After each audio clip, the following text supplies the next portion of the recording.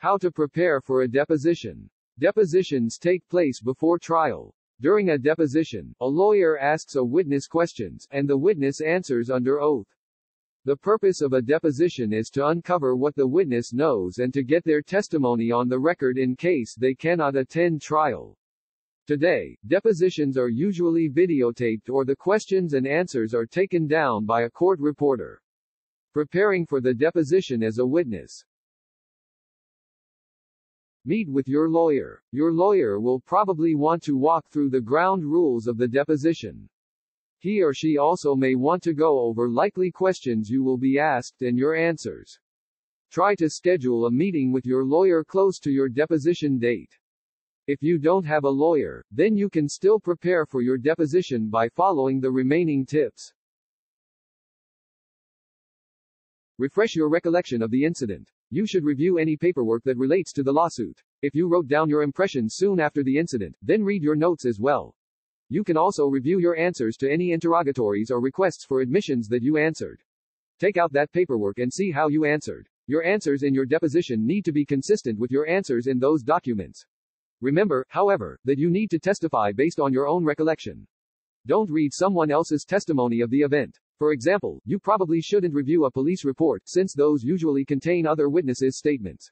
You can also review your answers to any interrogatories or requests for admissions that you answered. Take out that paperwork and see how you answered. Your answers in your deposition need to be consistent with your answers in those documents. Remember, however, that you need to testify based on your own recollection. Don't read someone else's testimony of the event. For example, you probably shouldn't review a police report, since those usually contain other witnesses' statements. Anticipate questions. At the deposition, the lawyer will want to walk you through the incident that is the subject of the lawsuit.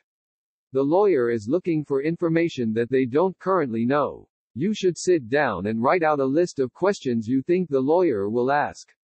Sometimes, it's hard to know what a lawyer will ask. In this situation, you could have a friend or family member read the complaint and then write out questions they have about what happened. For example, if you were in a car crash, the lawyer will have many questions about what you did before you got into your car and while you were driving. Hone your answers. You must always tell the truth in your deposition. However, you should still answer questions in a crisp, focused manner. Often, people need to practice their answers so that they don't ramble. The goal is not to memorize your answers but to be able to communicate your memories in a focused way. For example, if you are sued for a traffic accident, the lawyer might ask, What color was the light when you went through the intersection? Your first instinct might be to ramble, I think it was yellow. I'm pretty sure. It was green for the car ahead of me and when that car went through I saw it was yellow.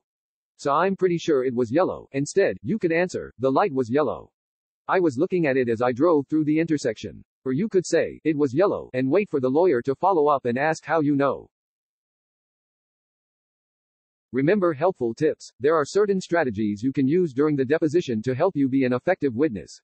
You should review these tips. When you practice your answers, be sure to follow these tips so that they become second nature. Answer as briefly as possible. If you can answer with yes or no, then you should do so.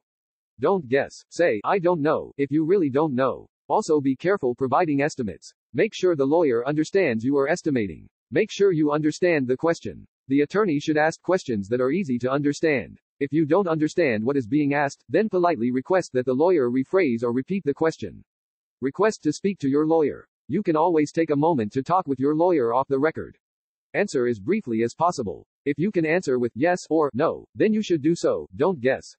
Say, I don't know, if you really don't know. Also be careful providing estimates. Make sure the lawyer understands you are estimating. Make sure you understand the question.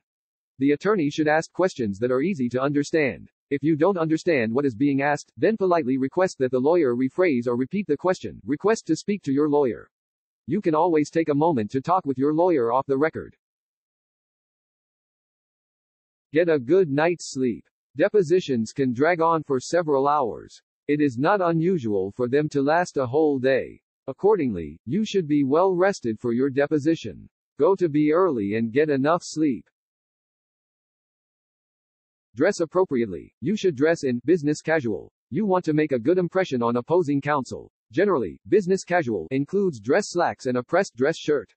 Men can wear a tie, if they want, and should choose long-sleeved shirts over short-sleeved ones. women can wear a skirt and a sweater. However, the skirt should reach the knees and no clothing should be too tight. Both men and women should wear appropriate footwear, such as leather shoes.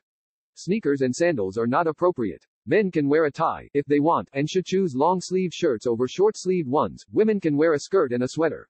However, the skirt should reach the knees and no clothing should be too tight. Both men and women should wear appropriate footwear, such as leather shoes. Sneakers and sandals are not appropriate.